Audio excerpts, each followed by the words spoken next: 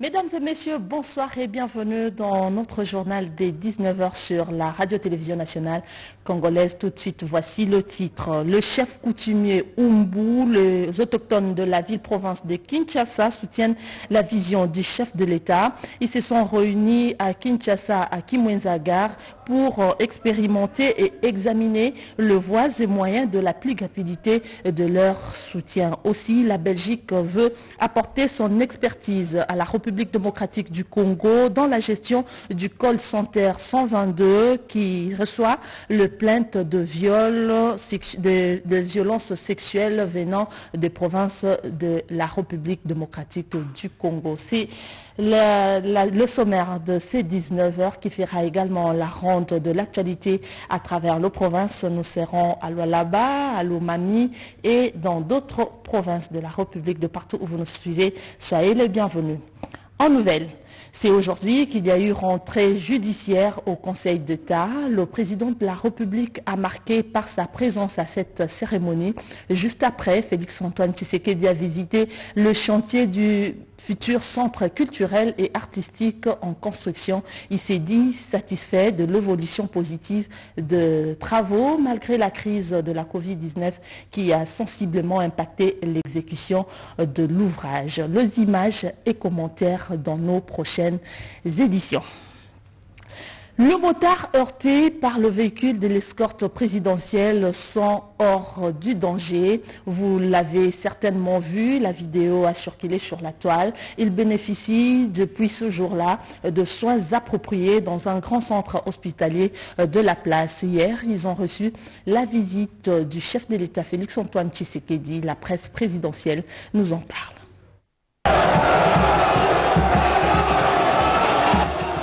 Dans l'effervescence qui a marqué l'accueil du chef de l'État, Félix-Antoine Tshisekedi Chilombo, le jeudi dernier, un des véhicules de l'escorte présidentielle avait heurté un taxi motard et son passager incrusté dans les cortèges. Cette vidéo, devenue virale sur la toile, avait suscité colère et spéculation. Plus de peur que de mal, les deux accidentés, acheminés à l'hôpital le même jour par les services médicaux présidentiels, s'en sont sortis avec une fracture à la jambe pour l'un et des traumatismes pour l'autre. Jonathan Chitea, les motards, et Papi Banda, la reporter d'image au groupe Les Phares, bénéficient des soins appropriés chez HJ Hospital. Ce dimanche, après son culte dominical, le président de la République, Félix-Antoine Tshisekedi Chilombo, qui suit de très près cette situation, est allé rendre visite aux deux malades pour leur apporter réconfort et compassion. Au pavillon privé de HJ Hospital, Papi et Jonathan, visiblement émus, ont oublié leur douleur le temps d'échanger avec le président de la République. C'est la grâce, c'est Dieu qui a voulu que je sois en vie. Bon, la vie continue. Pour le président de la République, oyo eyelinga na kodécourage te nzambe nde alingaki ta mosusu ezala bongo. Ya mosusu nakutana na mokonzi ya mboka. Donc merci d'abord na équipe mobimba président. Ndenge bazwinga mpena prise en charge. Non, moi je remercie d'abord le chef de l'État parce qu'il est notre chef. C'est le papa, le père de la famille. Que le bon Dieu garde encore en vie. Comme il est en train de penser pour nous. Le chef de l'État est allé aussi à la rescousse de Justin Motombo, jeune combattant de l'UDPS victime des cocktails Molotov à cause de son choix politique. Brûlé au deuxième degré, Justin Motombo est admis en soins intensifs et son bilan médical est rassurant. Nous avons reçu trois patients, tous de sexe masculin. Le premier euh, a été admis pour une douleur au niveau de la hanche, probablement un traumatisme qu'il avait reçu. Mais euh, on a fait tout ce qui est bilan d'imagerie, tout ce qui est bilan clinique. Il s'avère que bon, il n'a pas de fracture, il a juste ces douleurs résiduelles, certainement un choc quand il était tombé. Celui-là, le pronostic est vraiment favorable, il n'a pas de problème, il est stable, il pourra certainement sortir dans les jours à venir. Le deuxième cas, il s'agit d'un jeune homme de 32 ans qui a reçu, qui, qui s'est présenté pour une fracture au niveau de la jambe gauche. Qui a plusieurs traumatismes. Celui-là, on a fait le cliché radiographique qui a révélé effectivement toutes ces fractures. Il est au programme d'une ostéosynthèse demain. C'est-à-dire c'est une intervention chirurgicale qui consiste à réaligner les os et à placer des fixateurs pour faciliter la, la comment dirais-je, la consolidation des os. Son pronostic vital n'est pas engagé, c'est-à-dire qu'il n'est pas euh, en danger de mort. Le troisième cas, il s'agit d'un jeune homme, je crois, de plus ou moins 28 ans, qui a été admis pour euh, brûlure brûlure suite à un jet de cocktail monotone, c'est-à-dire brûlure par essence. Il a, la brûlure s'est mitigée première, deuxième degré, qui occupe plus ou moins 36% de la surface corporelle, c'est-à-dire sur toute la poitrine. Euh, en ce moment, il est quand même stable. Il a reçu les premiers traitements, c'est-à-dire antalgiques, perfusion des liquides, antibiotiques et des pansements qu'on fait localement pour prévenir la survenue des infections et contrôler aussi les, troubles électrolytiques parce que quand quelqu'un est brûlé, il perd beaucoup de liquide ce qui peut entraîner aussi sa mort. Donc de ce côté là-bas, il a été stabilisé, il a été mis en chambre d'isolement stérile et il va continuer à bénéficier de ce traitement jusqu'à ce qu'il va cicatriser totalement. Cette visite s'est déroulée en présence du secrétaire général de l'UDPS, Augustin Kabouya.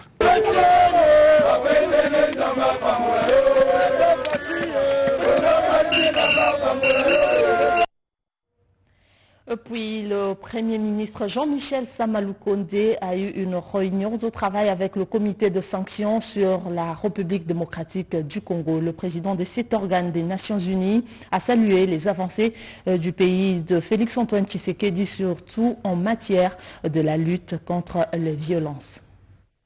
C'est sur une note de satisfaction qu'Abdou Abari, président du comité des sanctions sur la République démocratique du Congo, est sorti de la réunion qu'il a eue avec le Premier ministre Jean-Michel Sama, le comte de Kienge ce lundi 8 novembre 2021 à l'immeuble du gouvernement. Le président de cet organe subsidiaire des Nations Unies en charge entre autres de l'embargo contre les armes, des sanctions individuelles telles que les gels des avoirs, s'est dit satisfait de la maîtrise de ces dossiers par les chefs du gouvernement ainsi que de progrès notables réalisé par la République démocratique du Congo. Le Premier ministre nous a fait l'honneur de nous recevoir aujourd'hui. On a évoqué l'ensemble des articulations de ce régime de sanctions. On a exprimé les préoccupations sur les questions de sécurité, notamment dans l'Est euh, de la République démocratique du Congo. On a mis un accent particulier sur les violences qui sont faites euh, aux femmes.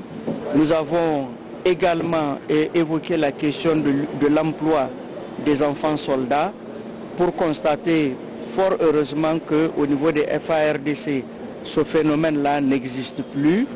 Et euh, pour terminer, nous avons évoqué la question de l'exploitation euh, illégale des ressources minières de la RDC en nous satisfaisant de l'offensive diplomatique très concluante qui a été lancée par le président Félix Tshisekedi au niveau de la sous-région. Et donc c'est avec satisfaction que nous, constatons ce que le président Félix Tshisekedi est en train de faire en tant que président de la République démocratique du Congo, mais également en tant que président euh, de l'Union africaine. Depuis l'imposition de ces régimes de sanctions sur la République démocratique du Congo, c'est pour la cinquième fois qu'Abdou Abari a foulé le sol congolais. Le 122, c'est le numéro call center qui enregistre le plainte en rapport avec les violences sexuelles venant de province de la République démocratique du Congo. Et la Belgique veut apporter son expertise pour son bon fonctionnement. Eric Van Beveren est allé le dire à la conseillère spéciale du chef de l'État en matière de violences faites à la femme et à la jeune fille Chantal Yelomoulop. Comment accompagner la RDC dans la lutte contre les cybercriminalités et toutes les violences basées sur le genre? Cette question intéresse l'ambassade de Belgique en RDC dans son apport, tant technique que financier. Cette préoccupation était au centre des échanges entre le bureau de la conseillère spéciale du chef de l'État en charge de la jeunesse et les violences faites aux femmes, Chantal Yeloumolop, et la délégation de l'ambassade de la Belgique conduite par Eric Van Beveren, conseiller chargé de la coopération et du développement au niveau de l'ambassade. Le fonctionnement du call center ligne verte 122 a occupé une place importante. Le call center est entendu comme un centre de monitoring pour recevoir les plaintes en rapport avec les violences sexuelles à travers les territoires nationaux. Après la visite des installations de ces call centers, l'ambassade de Belgique a validé son désir d'appuyer financièrement ces services. C'est là pour l'accompagner dans sa mission de la prise en charge psychosociale, médicale et juridique aux survivantes victimes de violences sexuelles. C'est grâce à son lobbying et sa politique managériale que Chantal Yello Moulop a obtenu cet appui de la Belgique qui a promis aussi son accompagnement dans l'éradication de ces fléaux au nord et au sud Kivu ainsi qu'en Boujimaï. La vulgarisation de la politique nationale de l'aménagement du territoire est en marche. Le secrétaire général du ministère de l'aménagement du territoire a lancé aujourd'hui plusieurs experts sur le terrain pour la sensibilisation de tous au sujet de l'importance de, ces La politique nationale de l'aménagement du territoire adoptée en juillet 2020 par le gouvernement de la République est un instrument de développement qui rationalise la transformation de l'espace pour le rendre plus cohérent, plus attractif, plus compétitif économiquement et assurant le bien-être de sa population. Seulement, elle doit être connue de tous. Le ministre d'État, ministre de l'Aménagement du Territoire, Guy Luandomboyo, s'est engagé à vulgariser cette politique. Les experts vont faire le relais sur le terrain afin que tous les acteurs intériorisent les principes fondamentaux qui guident la vision stratégique. Au cours de cet atelier, le secrétaire général à l'aménagement du territoire, Jean-Pierre Konde Wamasinga, a souhaité voir à la portée de tous les outils de planification socio-économique et spatiale. Le volet aménagement du territoire est resté pendant plusieurs années sans pour autant être connu du public. Et que les actions que devrait poser, que doit poser l'aménagement du territoire, n'ont jamais fait l'objet une application sur terrain. Mais à travers la politique, pour que nous puissions bien faire notre travail, il faut d'abord donner l'information. Dans chaque province, les équipes seront à pied d'œuvre, mais Kinshasa, comme miroir de la République, bénéficie des avantages de sa position en étant la première ville à connaître cette vulgarisation. Dans le social, sachez aussi que les bonnes œuvres ne sont jamais inaperçues, dit-on. Pour avoir fait de la promotion de l'entrepreneuriat de jeunes son cheval de bataille et organisé à Kinshasa la foire de l'entrepreneuriat de jeunes, Esther Miching Mbidi a été honorée par le Conseil universel pour la paix des nations continents. Elle est désormais ambassadrice internationale de la jeunesse pour la paix. La jeunesse a un rôle important à jouer dans la promotion de l'entrepreneuriat en République démocratique du Congo, pourvu que cette jeunesse soit suffisamment motivée afin qu'elle participe activement à cet ouvrage. C'est à cela que s'attelle justement une jeune femme, Madame Esther Micheng Mbidi, dont les efforts déployés dans ce domaine n'ont pas manqué de retenir l'attention du Conseil universel pour la paix des nations et des continents, CULPAC en sigle. Une journée glorieuse pour la paix a été organisée à son honneur ce lundi 8 novembre 2021 à la Cité de la Paix, journée au cours de laquelle elle a été élevée en dignité en lui décernant le titre d'ambassadrice internationale de la jeunesse pour la paix. Ce jour, la direction générale du CULPAC reconnaît cette brave personnalité désignée comme ambassadrice internationale en vue de la continuité de ses projets économiques et financiers pour l'épanouissement de la jeunesse entre l'Afrique et l'Europe. Très émue, la lauréate du jour, qui a pris la mesure du titre lui décerné, a pris l'engagement de continuer sur la même lancée. Je promets, je m'engage à poursuivre la mission humanitaire sur la paix, la vulgarisation des droits humains et le développement par des activités bienfaisantes pour la jeunesse en RDC et à l'international. Le modèle de la gouvernance financière dans la ville-province de Kinshasa, c'est le sujet de la thèse de soutenance publique du chef de travaux Pichu Marcel Mangituka de la faculté des sciences sociales, administratives et politiques au département de sciences politiques de l'université de Kinshasa. Jean-Pierre Ndolo était là pour le compte de la RTNC. En croire le récipiendaire, cette étude contribue à la performance des finances publiques dont le contrôle des nouveaux managements publics dans la ville-province Kinshasa. Cette gestion performante étant un processus difficile exigeant une volonté politique. En effet, a-t-il renchéri, les finances publiques jouent un rôle très important et occupent une place de choix, non seulement dans l'actualité, mais aussi dans le fonctionnement des institutions. Ce rôle place la gestion budgétaire au centre de la gestion publique. Les finances publiques constituent une pierre angulaire de la gestion publique. Elles permettent à l'État et à ses collectivités de rendre effectives les politiques publiques. Nous avons essayé de proposer un modèle de gouvernance dans la ville-province de Kinshasa parce que nous avons estimé que le modèle actuel ne répond pas aux exigences de la gestion axée sur les résultats comme le veut bien la loi relative aux finances publiques. Après délibération à huis clos, le jury a jugé recevable la thèse du chef des travaux Pichou Marcel Mangituka avant de lui conférer le grade de docteur en sciences politiques et administratives en lui remettant les insignes de l'université de Kinshasa pour une jouissance scientifique.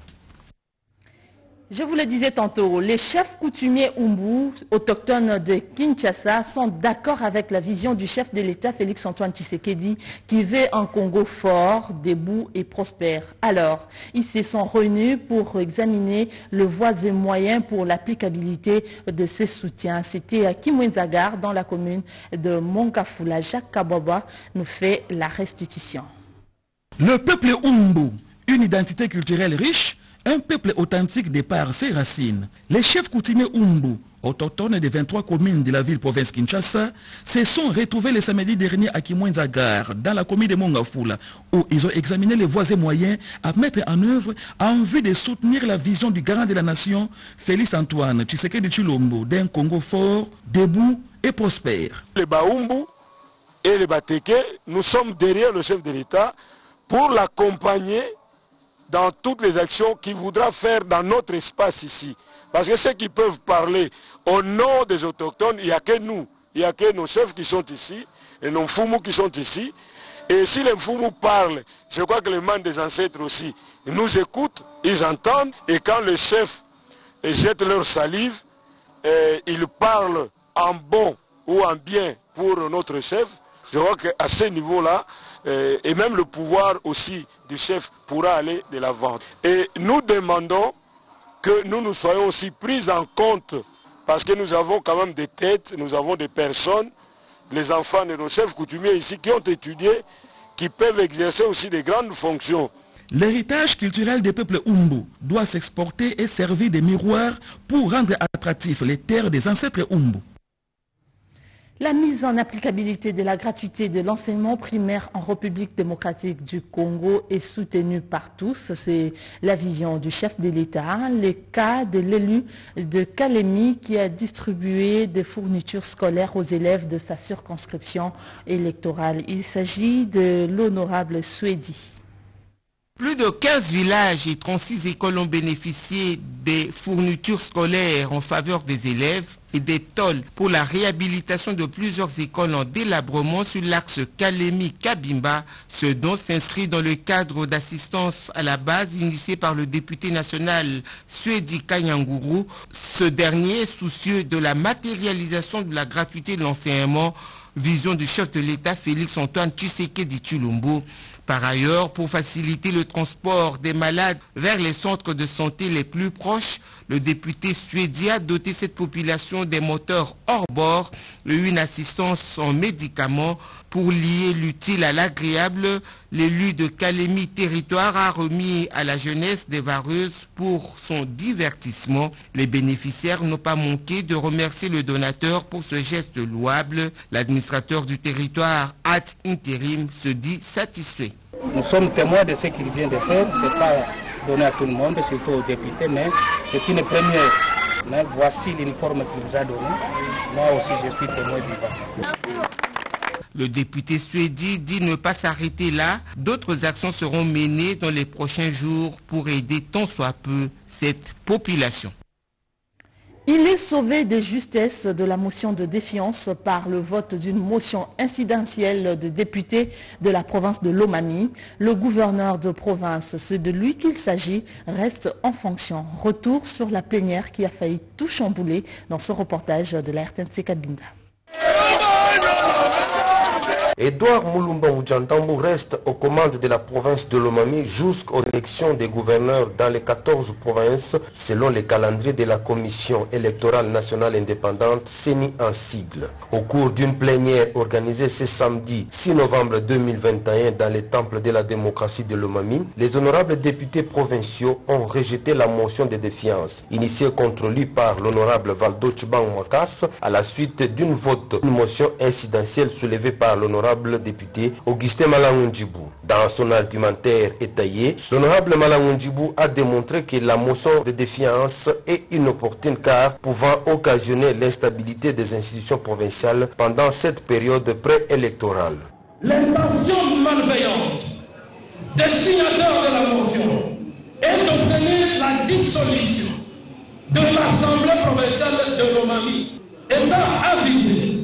nous ne pouvons pas accompagner cette action au contour flou.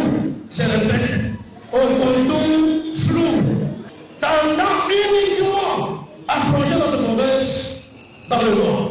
Ainsi, après l'intervention des pros et opposants à cette motion, la plénière a voté librement en toute transparence. 14 députés pour et 5 abstentions. De Cabinda, rendons-nous à Kolwezi. Nous sommes dans la province de Lualaba. Le train de développement de cette province est déjà en marche et a même largement évolué au regard de réalisation de la gouverneure par intérim Fifi Masuka. Au cours d'un point de presse, le chargé de communication du gouvernorat a confirmé la poursuite de travaux dans divers domaines. Fifi Bokeme nous en parle.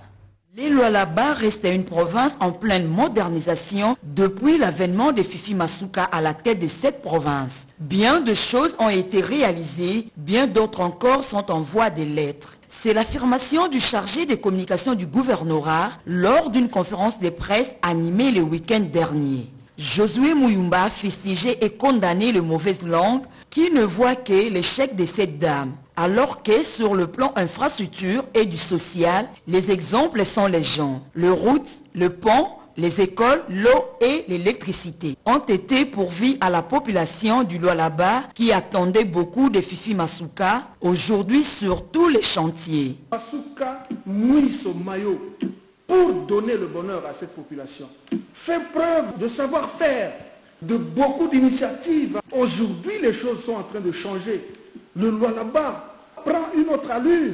Sur le plan politique, les chargés des communications tranchent. Le gouverneur Masuka reste et restera dans l'Union sacrée où elle continuera à travailler aux côtés du président de la République, Félix Antoine Tshisekedi Chilombo. Masuka est avec Félix Tshisekedi et les œuvres en témoignent. Et son travail en témoigne et c'est Félix Tshisekedi qui travaille à travers euh, cette dame de fer qui croit en sa vision, qui croit en sa politique, la politique euh, du bien-être de la population. Le gouverneur du Kassai central a déballé, lui, euh, le différent dossier traité auprès des instances nationales lors de sa récente mission à Kinshasa. Il s'agit de dossiers ayant trait à la santé, la protection, l'environnement, le travaux de réhabilitation de routes, de ponts et même de la dixième session Angola RDC. Reportage. Siska Bouyamba, il s'agit d'un exercice qui cadre avec le principe de bonne gouvernance et de redevabilité afin que chaque acteur politico-social y trouve son compte et sa part de responsabilité. La contre-performance enregistrée au Kassai central lors de la dernière campagne de vaccination pour enfants devra inspirer afin d'améliorer la prochaine, alors que la lutte contre la poliomyélite et le Covid-19 passe par une remobilisation de tous pour vaincre ces fléaux. Le séjour du gouverneur de province dans la capitale lui a permis également d'assister à la dixième session Angola-RDC où les cas d'expulsion brutale des Congolais par les autorités angolaises avaient été décriés avec force. Si ces compatriotes congolais sont jugés persona non grata, ils peuvent dignement rentrer en République démocratique du Congo, mais en évitant tout traitement dégradant. Kabatusi Lambouyamba traduit aux forces vives du Cassé central la détermination ferme du chef de l'État Félix Antoine Tshisekedi Chilombo à booster le développement intégral des 145 territoires de la RDC, parmi lesquels 5 du Cassé central, afin de changer le mode de vie de ses concitoyens. L'autorité provinciale informera également l'assistance de multiples contacts pris à Kinshasa avec le ministre des ITPR, les DG de l'OVD et celui de l'Office de route pour appuyer la réhabilitation et construction des routes et renforcer la lutte anti-érosive à travers des moyens conséquents à mettre à la disposition de leurs services en province. Tarsis Kabatusi Lambouyamba évite le peuple centre-kassaïen à l'amour de sa province et du respect mutuel. Guy Luando est une nouvelle structure qui a vu le jour dans la province de la Chuapa. Elle a pour objectif de prêcher la paix, le développement et l'unité de la province. Ceux qui vont gérer la structure dans les différents territoires de cette province étaient également présentés au cours de cette cérémonie inaugurale. Le retour de cette cérémonie, de ce grand événement avec Chimidondo. C'était à l'hôtel aquatique à Boende, chef-lieu de la province de la Tuapa, où la cérémonie d'installation officielle de membres de la structure politique, le ministre d'État en charge de l'aménagement du territoire, Guy Luando Mboyo. Cette structure, dénommée Génération Guy Luando, a fait sa sortie officielle dans la province de la Tuapa le samedi dernier, à l'issue d'une assemblée générale élective où plusieurs filles et fils de la province ont occupé des différents postes dans toutes les coordinations provinciales, urbaines et territoriales. La cérémonie s'est déroulée en présence du coordonnateur national adjoint de cette structure, M. Stani Botolo, qui a procédé à la lecture de listes de nominés devant le public présent dans cette cérémonie. Profitons de cette occasion, l'honorable député venant de Kinshasa a invité les filles et fils de la Chuapa à cultiver l'amour, la paix, l'unité, afin de combattre la pauvreté qui ronge la Chuapa. C'était donc là l'essentiel de l'actualité pour ces 19 heures. Un journal écrit par Mami Kadima sous la coordination de Marthe Manganza-Kalala. Mesdames et messieurs, merci de nous avoir suivis. À 20h, retrouvez Françoise Bouila pour la suite de l'actualité. D'ici là, portez-vous bien. Au revoir.